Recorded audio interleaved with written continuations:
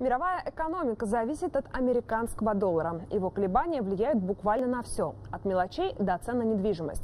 Для азиатских стран подорожание доллара равносильно подорожанию жизни. Южная Корея не является исключением, однако страна нашла простой выход из ситуации. Теперь южнокорейский вон можно без привязки к курсу доллара обменивать на китайский юань. Подробнее в нашем материале.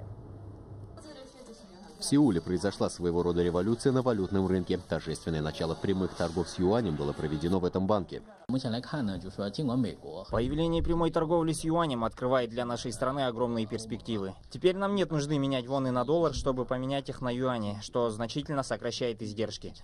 Этот шаг сделан очень вовремя. Китай – крупнейший торговый партнер Южной Кореи, а данная мера очень выгодна для обеих сторон. Наше правительство сделало все возможное для избежания долларовой зависимости. На следующий год Национальный банк повышает объем закупа юаня на 20%. Если все пойдет по плану, в будущем этот показатель будет увеличиваться. На данный момент товарооборот между двумя странами составляет 230 миллиардов долларов. Очевидно, что этот показатель будет только расти. К слову, Южная Корея стала третьей страной в мире, открывшей прямые торги с юанем.